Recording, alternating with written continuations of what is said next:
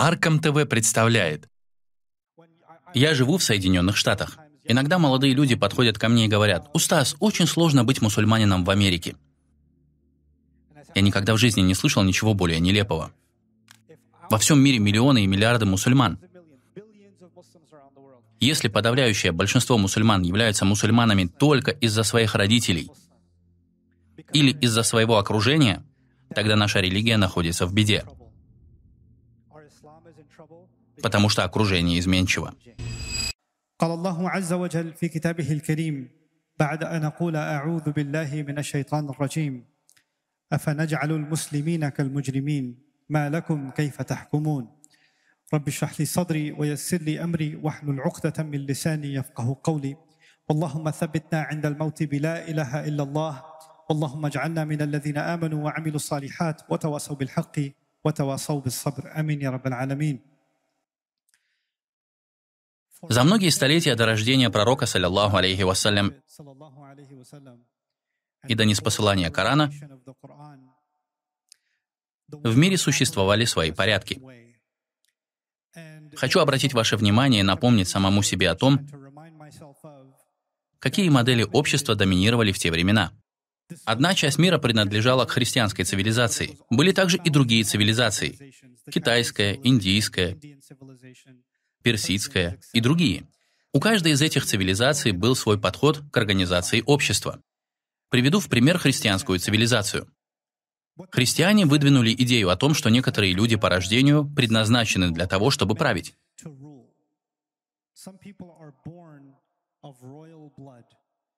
Бог хочет, чтобы именно они были правителями земель. Тот факт, что у них есть власть и сила, означает, что этого захотел Аллах.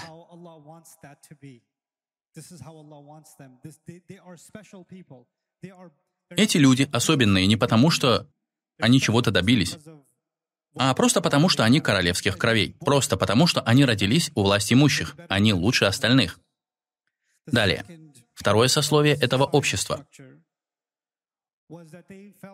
Некоторые люди, избранные Богом, являются святыми. Это священники, духовенство.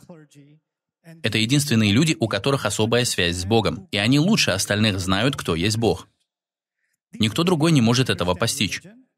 Это люди, которые понимают религию и волю Господа. Они единственные, кто может говорить от имени Бога. Если кто-то не согласен с ними, значит, он не согласен с самим Богом.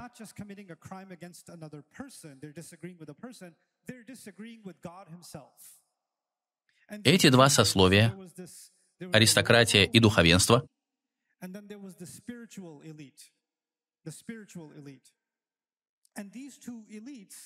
взаимодействовали и защищали друг друга. Духовная элита шла в народ и проповедовала.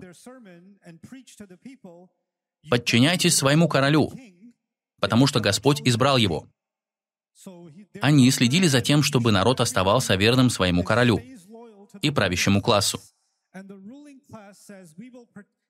Правящий класс, в свою очередь, приходил к духовенству. Мы будем финансировать вашу церковь. Мы защитим вас. Мы позаботимся о том, чтобы все вас слушали. Если кто-то не согласен с вами, мы убьем его. Таким образом, все слушают духовенство, а духовенство поддерживает правящий класс. Это система, которую они создали. Затем появился третий класс людей. Итак, первый класс – это политическая элита или аристократия. Второй – это духовенство. И третий класс – это финансовая элита. Люди с деньгами. Господь благословил некоторых людей, дав им богатство. Если Бог дал им так много богатства, значит, Он их любит больше остальных. Их предназначение — быть хозяевами, владельцами земель, в конце концов, богатыми людьми. Нам же надлежит служить им. Это наша роль в этой жизни. Эти три сословия можно назвать прочной троицей. Правители, духовенство и финансисты. Все остальные простолюдины. Элите надлежит принять свою доминирующую позицию, простолюдинам принять роль подчинения.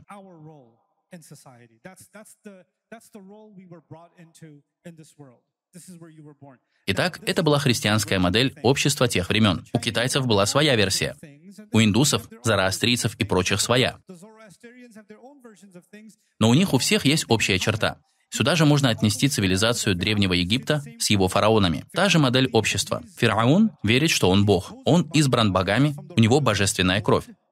Духовенство учило, что фараоном можно стать только по рождению. Далее идет класс землевладельцев, который эксплуатирует всех остальных. Такова система тех времен. Верхние три класса поддерживают друг друга, и к ним закон не применим. Если обычный человек совершит преступление, то его накажут. Но если преступление совершит выходец из верхних слоев общества, то он наказан не будет. Верхние три класса найдут способ, как не наказать одного из них. Однако элита будет рассказывать, что закон для всех един. Хотя фактически эти три группы находятся над законом. Подобная система существовала даже в Мекке во времена пророка, саллиллаху алейхи вассалям. Курайшиты верили, что они являются хранителями Каабы.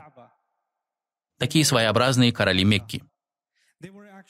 Также там были люди разных религиозных классов, где у каждого был свой идол. Они поддерживали мекканцев-курайшитов, Никто не связывался с мекканцами, они привилегированный класс. Поэтому, когда мекканцы путешествовали по своим делам, никто на них не нападал.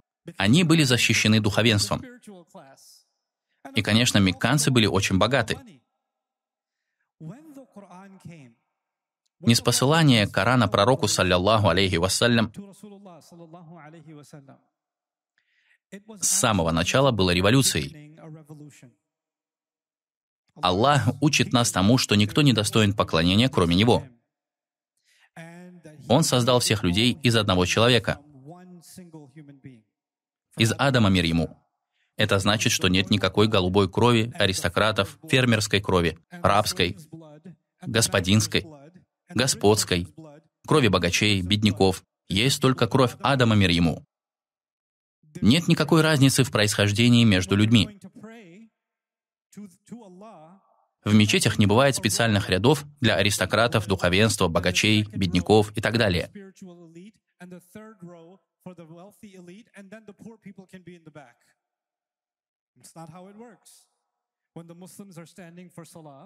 Кто-то, принадлежащий к родовитому племени, как, например, Хамза, да будет доволен им Аллах, будет стоять рядом с Белялем, да будет доволен им Аллах, который был рабом.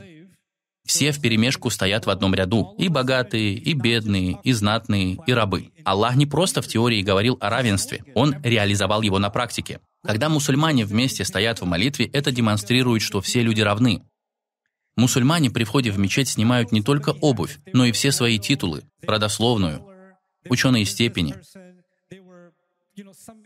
посты, должности и только затем входят в дом Аллаха. Все вспоминают свою рабскую сущность перед Богом. Они все абсолютно равны. Хотя Коран не отрицает иерархию среди людей. Только это иерархия другого рода. Некоторые люди могут быть лучше остальных. Но по какому критерию Коран считает одних людей лучше остальных? Самый почитаемый, самый благородный, перед Аллахом среди вас наиболее богобоязненный. Слово «акрам», самый благородный, очень важное. Потому что когда араб слышит это слово, ему на ум приходят три вида знати, которые мы упоминали. Аллах говорит, что самый почитаемый и благородный среди людей – это тот, кто больше остальных знает Аллаха, осознает Его, кто больше всех поминает Его. Другими словами, наиболее богобоязненный. Как определить, кто лучше? Тот, кто более предан Аллаху, более предан справедливости, принципам, истине, честности. Тот, кто добрее, лучше. Кто более правдив, тот лучше. Кто более полезен для своей семьи, тот лучше. И не имеет значения, миллиардер он или бездомный. Не важна его родословная, не важно, какого цвета его кожа, потому что таква, богобоязненность, находится внутри, а не снаружи. Все, что снаружи, одежда, цвет кожи, достижения, признание. Все это не важно для Аллаха. Еще одна примечательная вещь об элитах. Им нравится иметь слуг. Им не нравится делать что-то самим. Представьте, как сидит король, и по щелчку его пальцев ему приносят воду. Кто-то приносит фрукты, кто-то машет веером. Если он слышит шум снаружи, его охрана идет разбираться. Король не собирается сам решать проблемы. Он скажет другим людям делать это за него. Аллах обращается в Коране к элитам. К слову, если вы внимательно прочитаете, то заметите, что в большинстве мекканских сур, в первых откровениях, Аллах обращается к элитам, к богатым и сильным. Аллах в судный день спросит их, где же ваша охрана? Где ваши слуги? Почему вы одни? Они будут унижены в тот день. Вкушай, ведь ты могущественный, благородный. Нет у вас, кроме Аллаха, ни покровителя, ни помощника. У них не будет защитника или помощника. Когда король в этом мире попадает в беду, он идет за помощью в церковь. Когда церковь попадает в беду, она идет к королю. Когда у них обоих проблемы, они идут к богачам. И помогают друг другу. Но наступит судный день, и король воскликнет. «Где мои люди? Мне нужно позвонить. Мне не к кому обратиться». Коран разрушает эту иерархию.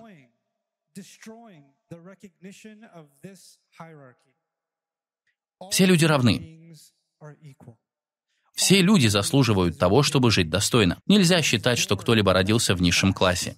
Никто не заслуживает меньшего уважения только из-за того, что у него меньше денег. Никто не заслуживает большего уважения, потому что у него больше власти. Уважение исходит из таквы. Это совсем иной источник достоинства и уважения. Исламская мысль прекрасна, но в то же время она была очень опасной для сложившегося в то время мирового порядка. Это актуально до сих пор. По идее, мусульманин не может бездоказательно говорить всем, что им делать и ожидать, ожидая, что люди не будут задавать вопросов. Напротив, если я скажу вам что-нибудь, вы имеете право задать мне вопрос или возразить. «Эй, твои слова не имеют смысла. Откуда ты это взял? Какие у тебя доводы? Приведите ваши доказательства, если вы говорите правду». Но если вы относитесь к духовной элите и говорите от имени Бога, то вас никто не имеет права ни о чем спрашивать, потому что задавать вам вопросы – это то же самое, что задавать их самому Богу. Ислам разрушает такую систему. Вот почему мусульманская научная традиция сильно отличается от еврейской, христианской или любой другой. В нашей научной традиции один ученый напишет тафсир Корана, другой ученый напишет другой тафсир и будет дискутировать с первым. Он написал то-то, я с ним не согласен, и вот почему. И никто не говорит, смотри, это же куфр. Как он мог не согласиться с таким-то? Никто не является святым или безгрешным. У нас нет святых. Мы все люди. Мы делаем все от нас зависящее, чтобы попытаться понять слово Аллаха. Ученые могут не соглашаться друг с другом, могут спорить. На самом деле, в этом сила нашей религии. Еще один интересный факт. До ислама ни у кого не было доступа к Библии. Невозможно было просто взять и прочитать Библию. Нужно было пойти в церковь и там уже вам бы рассказали, что написано в Библии. У людей не было копий Торы или Евангелия. Они знали основные мольбы и молитвы, но полный текст был в распоряжении церкви. Текст был в распоряжении раввинов. Последнее откровение в этом плане отличается от предыдущих. Коран был не спослан не как текст, который нужно беречь ото всех в определенном месте, чтобы доступ к нему был только у избранных. Коран был выучен наизусть и распространялся устно и письменно. Любое ухо могло его услышать. Священное Писание больше не являлось секретной информацией. Доступ к Корану был и есть у каждого. Это уже само по себе было революционным.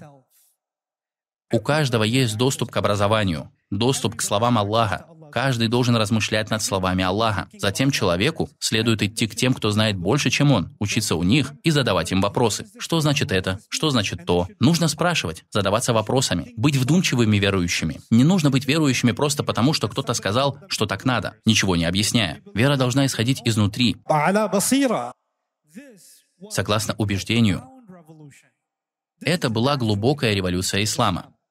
Вот что принес миру пророк, саллиллаху алейхи вассалям. Я рассказываю это вам, потому что мы живем в определенный период истории.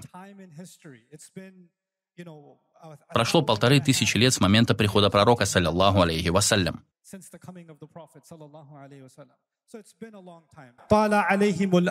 Коран описывает людей до нас. Прошло много времени с того момента, как им было даровано Писание. А что происходит со временем? Забываются вещи, про которые люди помнили в начале.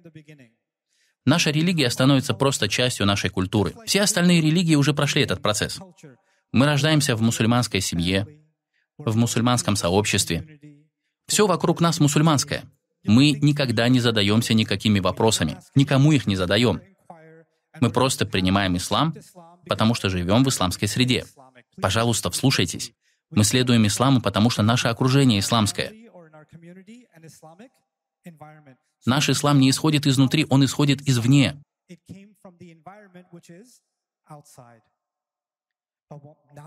Но времена изменились. Сегодня не важно, где вы живете, в Тринидаде, в Техасе, в Пакистане, на Тайване или в любой другой точке мира. Ваше окружение — это не только физически окружающие вас люди. Ваше окружение — это и то, что у вас в телефоне. Ничего подобного в истории человечества раньше не было. Люди никогда не подвергались такого масштаба воздействию информации со всех сторон. Ваша среда больше не может обеспечить безопасность и комфорт вашей веры, даже если вы окружены мусульманами. Это уже так не работает. Наступили другие времена. Сегодня тебе бросают вызов, ставят под сомнение твою веру, сбивают с толку. Теперь у тебя есть два варианта, если ты хочешь сохранить веру. Или полностью отключить себе интернет, никаких соцсетей, никаких контактов. Я просто хочу остаться в числе тех немногих людей, с которыми моя вера будет под защитой. Все остальное — фитна, is куфр, то, что разрушает меня. К слову, пару тысяч лет назад церковь говорила обществу, не учитесь, не задавайте вопросов, не интересуйтесь, потому что если вы узнаете что-то лишнее, это разрушит вашу веру. Вот что говорила церковь людям. Вот почему они сжигали книги. Они не хотели, чтобы люди учились. Если люди начнут подвергать сомнению христианство, это разрушит всю их систему. Они не могли этого допустить. Если наше решение состоит в том, что нам лучше ничему не учиться, нам лучше спрятаться, чтобы защитить наш иман, то в таком случае мы забудем, кто мы есть на самом деле. Аллах дал нам религию не для того, чтобы прятаться от людей. Напротив, Он дал нам религию, чтобы мы могли бросить вызов своему окружению. Эта религия не убегает от фитны, она ее заканчивает. Поэтому Аллах называет религию дин или милля нашего отца Ибрагима мир ему. Ибрагим мир ему был окружен ширком. Он постоянно задавал вопросы своему окружению, дискутировал. Мы не можем считать себя последователями религии Ибрагима мир ему, если внутри нас нет веры. Давайте поразмышляем вместе. Мы часто упускаем эту мысль. Подавляющее большинство людей, которые первыми услышали Коран во времена его неспосылания, были неверующими. Большую часть времени Коран не спосылался в немусульманском обществе. Сегодняшние мусульманские народы на протяжении многих столетий оставались не мусульманами. Каждый аят Корана бросал вызов их культурам, семьям, окружающей их среде, их образу жизни, их свободе. Коран бросал вызов всему. Почему мусульмане оставляли свои семьи, культуру, свободу, комфорт, жертвовали всем ради принятия истины? Есть нечто могущественное в слове Аллаха, нечто сверхъестественное, удивительное в его словах. До принятия ислама люди могли есть, что хотели, могли делать все, что хотели, могли убивать, кого хотели, вести себя так, как хотели, говорить, что хотели. И вот пришел ислам и наложил ограничения и запреты, что им есть, на ком жениться, как себя вести, как вести бизнес. Почему я принимаю все эти ограничения? Раньше я был свободным человеком. Зачем я следую этим запретам? К слову, эти вопросы сегодня задает исламская молодежь. Ислам очень строг. Почему в нем столько ограничений и запретов? Это не новые вопросы. Эти вопросы задавали мушрики 1500 лет назад. Почему я должен принимать эту религию, которая накладывает на меня все эти ограничения, когда я могу оставаться свободным? Ширк гораздо более легкая вещь. Ширк гораздо более либерален, чем ислам. Ислам слишком консервативен, да? В таком случае возникает вопрос, почему столько людей приняли ислам? Они не просто приняли религию, они готовы были умереть за нее. Их пытали и избивали, но не могли выбить из них ислам. Их разрывали на части, а они все так же произносили «Ля иляха илlallah». В чем же дело? К ним обращались их же собственные семьи. «Мы любили тебя. Прежде ты был нашей надеждой. Почему ты стал таким? Что стряслось у тебя внутри? Что-то поселилось в их сердцах, и они смогли увидеть ложь вокруг себя. Они стали привержены истине. Подобное будет происходить и сегодня, если мы обнаружим внутри себя посыру, твердое убеждение. Только тогда ты доподлинно услышишь слово Аллаха, на себе почувствуешь его. Во всем мире миллионы и миллиарды мусульман. Если подавляющее большинство мусульман являются мусульманами только из-за своих родителей или из-за своего окружения, тогда ислам находится в беде. Потому что окружение изменчиво. И когда окружающая среда будет меняться, ислам также изменится. Но если ислам внутри тебя, то неважно, изменится окружение или нет, это не повлияет на твой иман. Ислам должен исходить изнутри.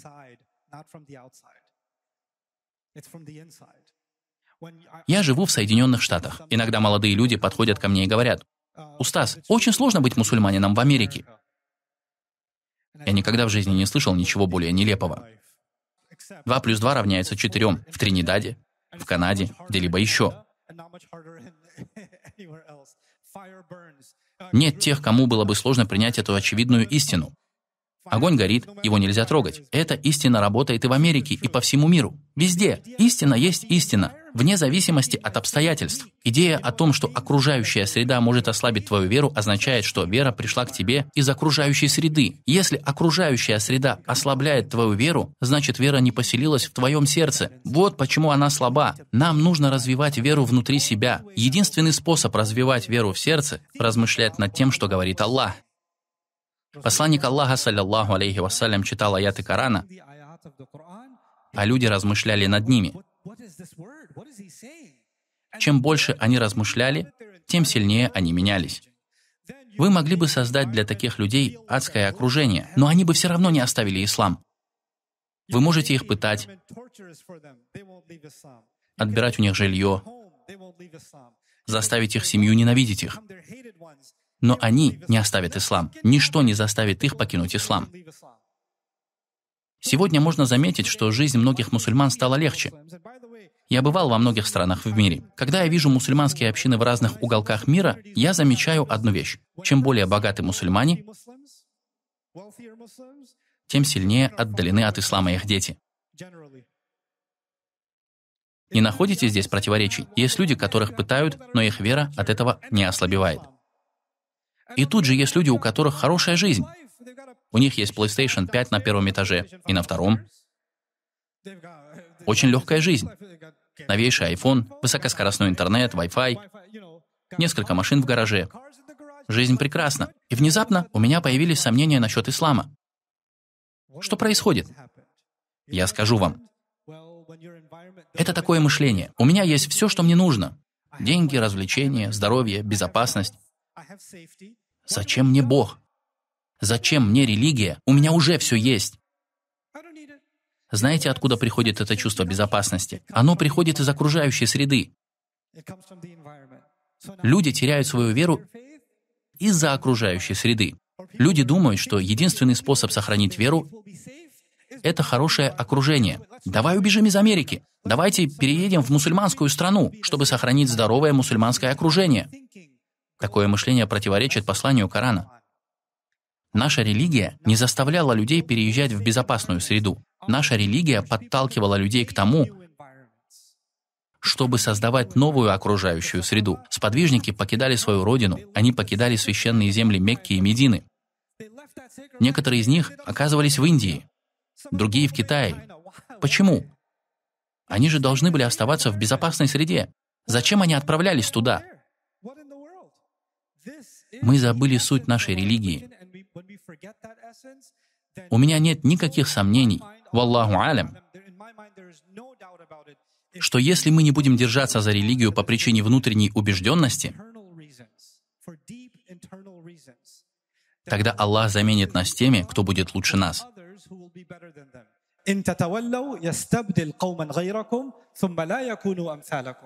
Если вы отвернетесь, Он заменит вас другими людьми, и они не будут подобны вам. Пусть Аллах защитит нас от такой замены и сделает нас людьми, которые имеют искреннюю связь со Словом Аллаха. Пусть Аллах не подвергнет нашу веру и нашу приверженность религии влиянию извне. Пусть вера горит и светится внутри нас. И пусть вместо того, чтобы окружающая среда изменила нас, мы в конце концов стали теми, кто изменит свое окружение.